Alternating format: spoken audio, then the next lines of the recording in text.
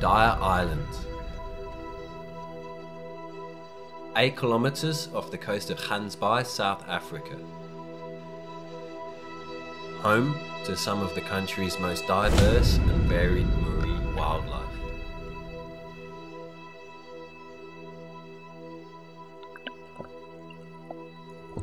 And the worldwide capital of the great white shark.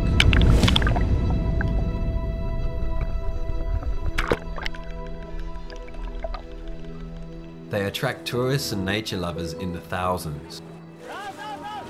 But how many are actually here? And what does this mean for the species globally?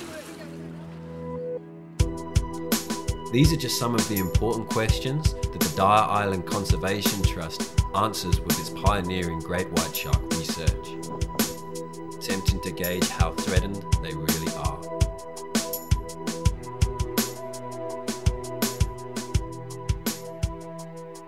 I always knew that there were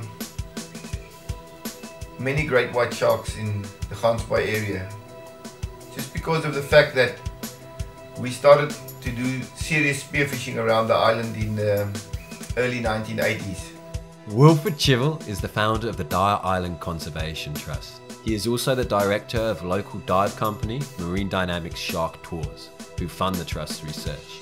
I met um, Michael Scholl in the late 90s and he was doing a study on the great white sharks, dorsal fin study, and that was very interesting to me. He never finished his study, unfortunately, but when I bought the Shark Age diving boat, I immediately know that we um, we should do something like that. Obviously, this area is the white shark capital of the world, undisputably, and um, we took thousands of fin photos through the next few years without ever having somebody that can really do something with it.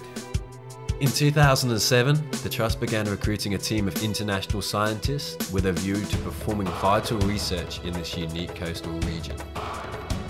One of the first researchers to join the Trust was Alison Towner. When I arrived in this area, there was very few studies ongoing with population estimates of white sharks. In fact, there was nothing in the literature, and most studies that were happening were very much in limbo. So the Trust decided this was something that we needed to um, get going. The team spent over five years collecting dorsal fin IDs, providing them with the data they would need to calculate an estimate of the local population. So with all of the photographs that we collected, we then started to catalogue the unique dorsal fins of each shark in order to identify individuals. When animal behaviourist Michelle Wcisel joined the team in 2010, her first task was to figure out the best way of processing this data.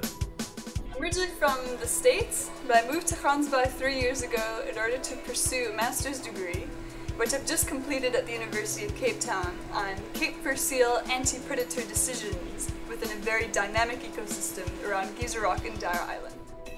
From this point, to identify the fins, we used a program called Darwin. You you really can't imagine the the joys and excitement involved of working with Darwin. Designer and research assistant Ed joined the team to help with this part of the process. I mean, I love sharks, but my, my experience is more in creative, so branding, web, 3D, and that sort of thing.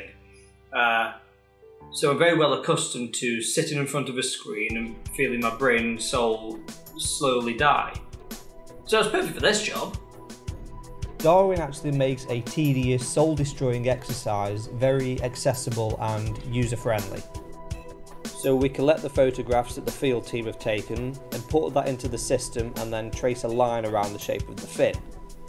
We then hit a magic button and the system does its best to match that trace with others it already has saved in its database. What it then does is list all of the fins that are in the database according to how similar they are to the one we've just imported.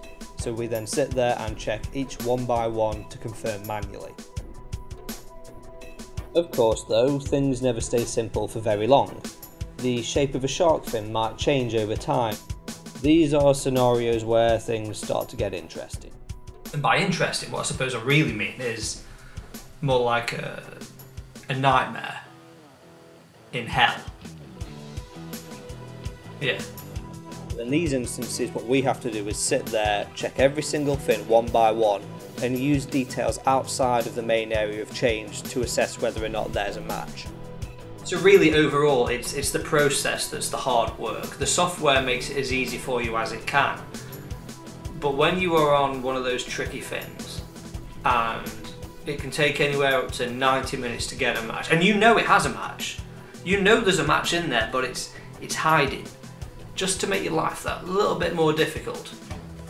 When you're on your tenth of those for the day, it takes its toll. I used to look like Johnny Depp one week of Darwin, and need I say more? This software allowed the team to calculate an estimate of the local population, the first from southern Africa and one of very few in the world. Previously, unpublished research in Bay suggested that there may be as many as two to 3,000 individuals in this bay alone. Using five years worth of dorsal fin data, we were able to identify 532 individual white sharks in the bay over that time period.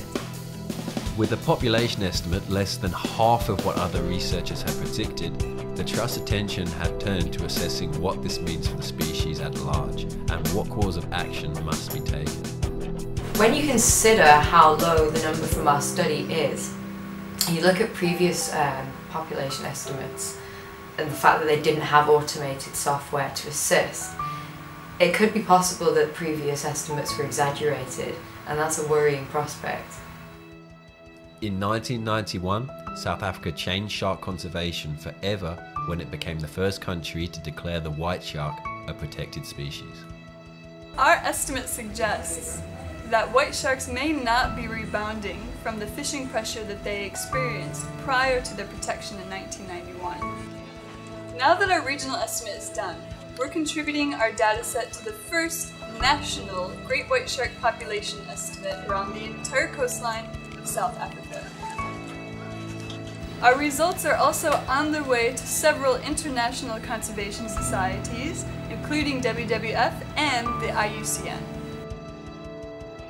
With the study complete and the white shark community more broad and diverse than ever, the Dyer Island Conservation Trust believes now is the time for South Africa to once again make a stand and pioneer international white shark protection. So what I hope can come out of this study is ultimately to do a to change policy, to get people to better understand sharks. If we want to make a difference I think we should start making it now. I think we should start influencing policy, and I think the South African government can do more to protect the great white shark than they're doing at the moment. We should really try and go over our borders, along our borders now, along the African borders, and to all countries not protecting the great white shark, and insist on our government to put pressure on them to protect the great white shark.